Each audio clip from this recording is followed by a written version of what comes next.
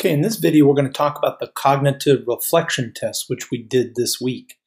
There were three questions on that test. One dealt with a bat and a ball, the other one dealt with making widgets, and the third one dealt with lily pads on a pond. Let's start off with the bat and ball question. It's a simple question. It simply says, hey, a bat and a ball cost $1.10 in total.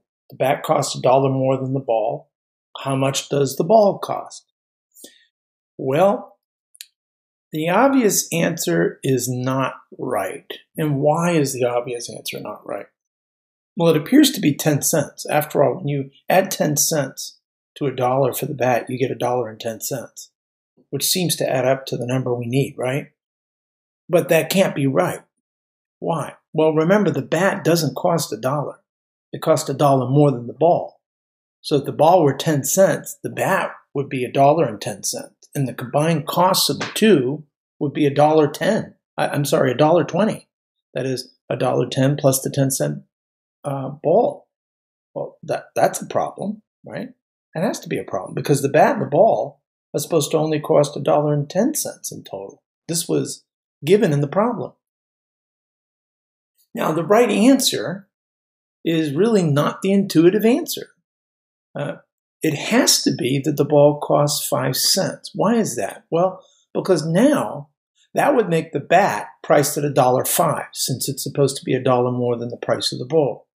Now, when you add the cost of the two items together, the dollar five for the bat, the five cents of the ball, you get a dollar ten, which is precisely the total that is given in the problem at the very beginning. So the question is, why did this happen? It's really just a cognitive bias. And Daniel Kahneman theorized that the human brain operates on system one and system two, but uses these systems differently depending upon the situation. And in his book, Thinking Fast, Thinking Slow, which I highly recommend, he describes system one as the brain's fast, automatic, intuitive approach, and system two as the mind's slower, analytical mode where reason dominates. So don't feel bad. If you answered 10 cents, not a problem. Most people, even very intelligent people, give the same answer. So what is happening is that you're trying to answer the question quickly, and your intuition provides you with this answer. It has to do really with availability bias. The information that's available is what was presented to you. And the truth is that if you were told to take your time and verify your answer, probably next to no one would get the answer wrong. Because now system two would be kicking in. Now, the widget question is very similar. It says if it takes five machines five minutes to make five widgets, how many minutes would it take 100 machines to make 100 widgets? Well, again, it's not the obvious answer. If you answered 100, you're in good company, but the overwhelming majority of people provided this answer, but this answer just can't be right, right? Question is, why? Well, think about it this way. Think about sharpening pencils. Think about a situation where one person is sharpening a pencil with an ordinary pencil sharpener, and it takes them five seconds to sharpen it. And now imagine that you have five people with five pencil sharpeners. How long would it take them to sharpen the five pencils? Well, of course, it would take five seconds. That's pretty easy to see. And so far, you're thinking this isn't helpful because this sounds just like the answer that you gave, right? But even if we had a hundred people with a hundred pencil sharpeners, it would still only take five seconds for these pencils to be sharpened if they're all equally productive. So the widget problem is really no different. And that's why the answer has to be five minutes and not a hundred minutes. So why did we get this wrong? Well, we get this problem wrong for the simple reason that we're operating on system one thinking again. We're relying on our intuition and some availability bias. It looks like a nice pattern, five machines, five widgets, five minutes. Therefore, 100 machines, 100 widgets, 100 minutes. But of course, now we know the answer isn't right, or that answer isn't right. But again, if we're told to take our time to verify and test out our answer, most people would answer correctly that it would still only take five minutes, right? Now, for the grand finale, we have the lily pad question. I really enjoy this question.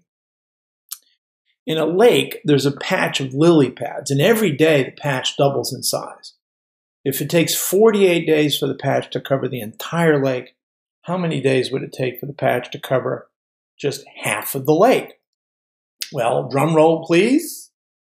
Okay, if you answered 24 days, again, you're in good company. It's an intuitive answer, but it is spectacularly wrong. Why? Well, if you'd taken a little bit more time to verify the answer, you would realize that it can't be right. So ask yourself this question What would happen on day 25? Well, the answer is that the number of lily pads would double in size. But that is a problem. Why? Well, because on day 25, that would mean that the previously half filled pond of lily pads would now be completely full of lily pads. But that wasn't supposed to happen until day 48. So the right answer is not the intuitive answer. If you answered 47, you are right, but you are also in the minority among respondents. So congratulations. And trust me, the first time I saw this problem, I answered 24. I did not choose 47. In fact, I was fussing at myself that I didn't get it right. So why is this answer right? Well, if on day 47 the pond is half filled with, with lilies, it means the next day the pond will be completely filled with lilies.